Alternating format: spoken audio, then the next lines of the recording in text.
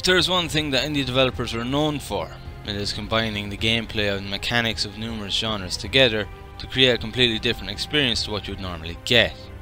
Sometimes it works and sometimes it is a recipe for disaster, and the game that we're looking at today is a perfect example of a concept that was never going to work from the beginning. Beasts Battle 2 is a turn-based strategy game developed and published by indie developer Greenolor Studios. It released on February 1st, 2018 and is the sequel to their previous game, Beasts Battle.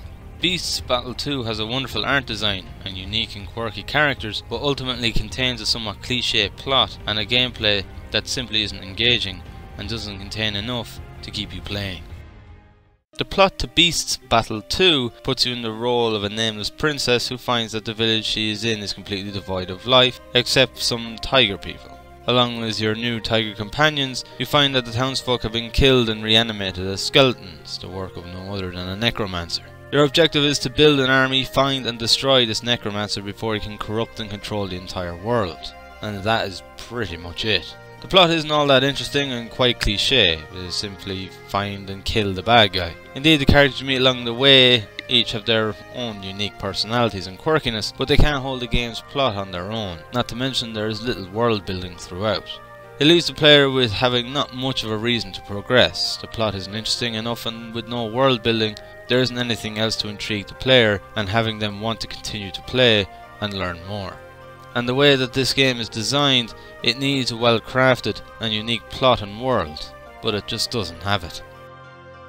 As for the gameplay, it consists of two core elements, moving through the world map and combat. The world map works in a similar fashion to games that you find on the likes of Armor Games, Newground and mobile devices. You move to the next spot on the map and it starts up an event of some kind, be it plot progression, obtaining an item, recruiting new units, meeting a new character, or starting combat. Pretty run-of-the-mills exploration that doesn't excite nor do anything new. As for the combat it is pretty much an exact copy of how it works in Heroes of Might and Magic. You can have up to 5 units on the field, where their strength is determined by their numbers. The more of each unit you have, the more damage they dish out. The same applies to the enemies. To help you along your way, you can cast spells at the cost of mana. Some spells damage a target enemy or a number of enemies within a blast radius. Others buff your units in some way like haste or vampirism.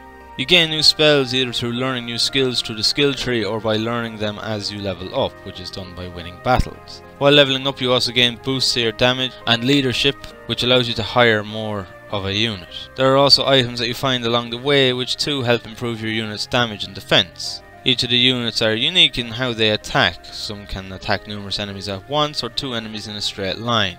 Each of the units can also be upgraded once, increasing their damage, defense and gaining a special ability of some kind. When you win a battle you gain experience and money. Depending on your losses in the battle, a certain amount of your gold will be deducted from your winnings to heal your units.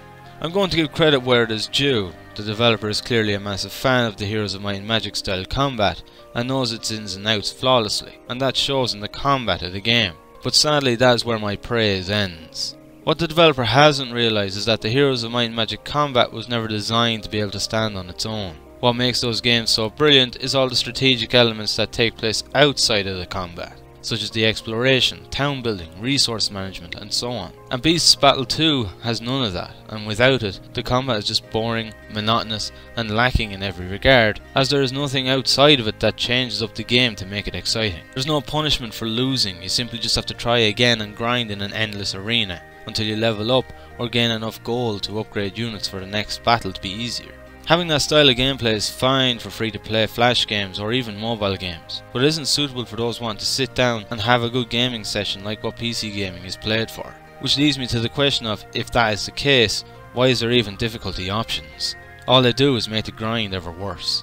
Simply put, Beasts Battle 2 is only a strategy game by style. As with strategy games, you need to be tactical and there needs to be a win or lose situation, and here there isn't. So how can it even be called a strategy game? I've played through Beasts Battle 2 to the final chapter and throughout the entire experience I felt nothing but numbness. I felt no excitement, no fulfillment, and most of all, I felt that my time had not been well spent is a game that's design belongs on mobile device or flash game websites, where you play for 10 or 15 minutes here and there to pass the time. But as a PC game to sit down and play for several hours, its gameplay just doesn't work. I've been very fortunate with titles so far this year, where all of them have won me over in some form or another. And when you come across one having an identity crisis like this, it can really sour the mood. At the end of the day, it isn't a terrible game, it just isn't designed to suit the platform it's released on. It does have some wonderful art design and I enjoy the dialogue of the colourful characters that you come across in your adventures. But aside from that, there is little else I can say is genuinely positive.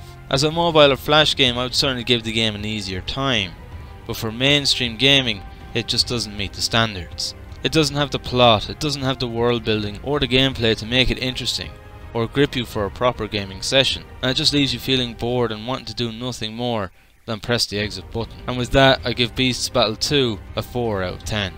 If you're looking for something to play while eating your lunch at your desk or to pass the time when you have literally nothing else to do or play, then Beasts Battle 2 may be worth a try. But aside from that, it's best to keep that 10 bucks for a game that will at least give you some sort of enjoyment.